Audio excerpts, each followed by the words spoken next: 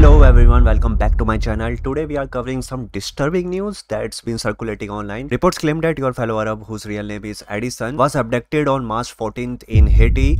News outlets like Atlas News are citing Haitian news source Haiti24 as the origin of the story. According to these reports, your fellow Arab wasn't alone. He was allegedly kidnapped alongside his Haitian colleagues, Skara Sean. Some sources suggested they were kidnapped while returning from Cape Haiti. The reports allege the kidnappers are a notorious Haitian group called 400 Mons also. This gang has been linked to numerous kidnapping in the country. The situation is even more troubling due to the alleged ransom demand. The kidnappers are reportedly asking for staggering 600k US dollar for your fellow Arab and his colleagues release. It's important to note that these are just reports at this point. There hasn't been any official come from Haitian authorities, the US government or your fellow Arab's family. However, one of the fellow streamers, Lelim, seems to corroborate the story stating Arab was indeed kidnapped and there are many tweets about it like this one where this guy said 24 hours they were both kidnapped. Less than two days later, I heard from Arab as he was permitted to talk to his friends through the kidnapper phones. The ransom was 600k dollars, then it went down to 300k dollars, then it went down further to 5 weeks. And the US government and the State Department is very hands off on helping. Even though Arab is a US citizen, Arab has been kept in a cage in a place on the eastern outskirts of the capital, Port-au-Prince. His location is known. There was an attempt to pay the ransom, but it went wrong. And truthfully, everyone was out of their depth to help Arab. An exchange went bad, done incorrectly, and Arab was not released.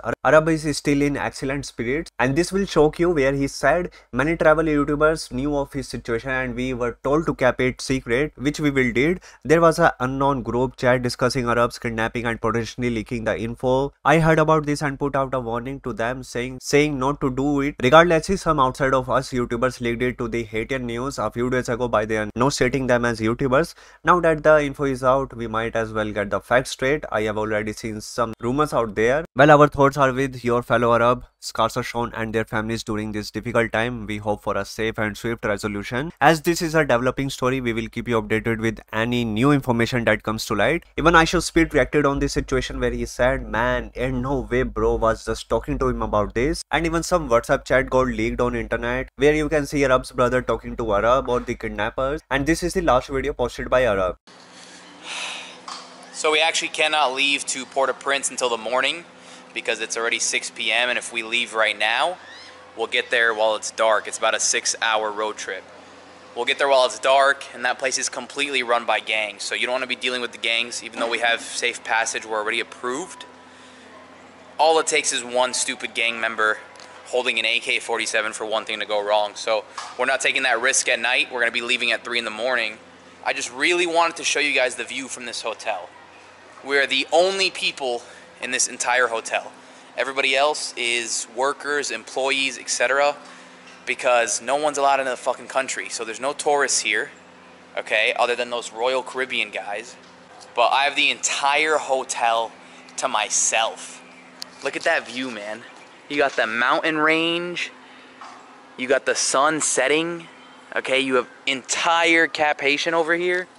And We've got a pool, which I wasn't going to take advantage of, but how many times in your life are you the only person in an entire hotel because the country's completely shut down, no one should be coming in, and you're just a retarded YouTuber?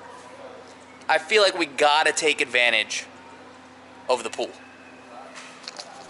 Now we're gonna talk about Logan Paul because he's very angry. But why? Because his big Apple TV Plus documentary just got surprise release and it wasn't on Apple TV Plus. That's right, it's chilling out for free on YouTube. We all know Logan signed the massive deal with Apple TV Plus for a multi-part documentary series. It was supposed to be exclusive, something you had to pay to see, but now it seems like those plans just went out the window. Let's just say Logan is not happy. He's been posting cryptic messages on social media throwing some serious shade at Apple. There is even a rumor he might be taking legal action. Now the big question is, why would Apple TV let this happen? Is this some kind of weird marketing strategy? Maybe they are hoping to get people hooked on the free dog and then lure them over to Apple TV Plus to see the rest or is it a complete blunder? Some X users also reacted on this situation where this user said, so now he knows what it feels like when he promises fans something and instead steals their money and another said scammer got scammed and even TMZ Live tweeted about this where they said Logan Paul and Graham Bensinger came on TMZ Live to promote their new documentary but the interview got a little heated while Logan called Graham out for posting it on his YouTube channel. Well what do you guys think about it please comment down below. Now we're gonna talk about Adin Ross. That's right he gave his opinion on Jynxzi and Clix beef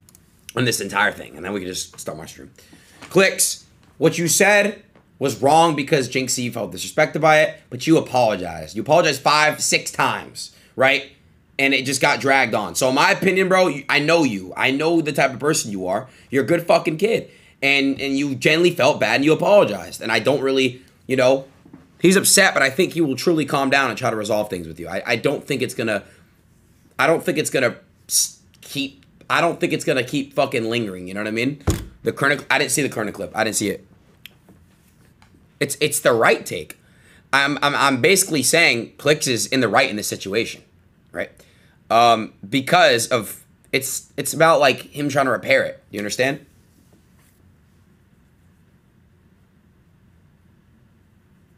Yeah, I mean, dude, I constantly get arguments with a bunch of people. There you have it, folks. Adin's got some interesting takes. First, he defends Clix a bit, saying he thinks Clix genuinely felt bad and apologized. We see a glimpse of that classic Adin back and forth there, analyzing who is right and who is wrong. But then things got spicy. Adin throws some shade at Jynxzi, saying that maybe he should have seen it coming since his girlfriend is an OnlyFans model. Oh, that's a hot take for sure. It definitely adds another layer to the whole situation. While talking about Adin Ross, he went head to head with Andrew Tate in a heated debate that left everyone speechless. So buckle up because things got spicy. So the argument started you know, sadly enough. They were discussing about finance.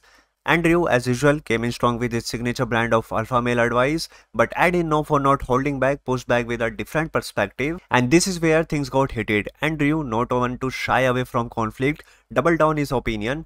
Adin, fueled by the energy of his chat, fired back with the counter arguments, and finally, after what felt like an eternity of back and forth, the tension became unbearable. In a shocking move, Andrew Tate abruptly ended the call, announced he was done. And the internet went wild after the stream. Some viewers sided with Andrew, praising his unapologetic approach. Others supported Adin, commending him for standing his ground. And after all of this drama, Andrew Tate tweeted this, where he said, Adin Ross is my friend. Learn all about addiction. Andrew, it's not that. How you can't stop taking but Andrew, Andrew, like Andrew, if somebody wants to, Andrew, if somebody, if somebody wants to make money, they can YouTube it. Money and how the world works. They can YouTube that. They can YouTube that. They can YouTube that. Everybody's fucking time. But they can YouTube that. They help people at home. Here's your fucking subject. Okay, so can I ask you a question? Let me ask you a question. How do I? How does this? How does learning that? How does learning that? How does learning that? Bro, I don't understand. How does me learning that? How does me learning any of that gonna help? I don't understand. All you guys saying. Adin, you don't watch me for financial advice. I'm sorry, you don't. You don't watch me for financial advice. You do not. You watch me for my content, for my degeneracy, and that's what you guys watch me for. I'm sorry, guys, but he's basically portraying this onto me to make me look bad and bring me down with him. He is. You don't watch me for this stuff. If I literally do streams, oh, guys, here's how the US dollar works. You guys are going to spam. So who won the debate? There is no clear answer. Both Adin and Andrew brought some strong points to the table, but one thing is for sure, this heated exchange provided some top tier entertainment. What do you guys think of the debate? Let us know in the comments below. Don't forget to like and subscribe for more drama, breakdowns and juicy streamer content. I will see you in next video. Yeah.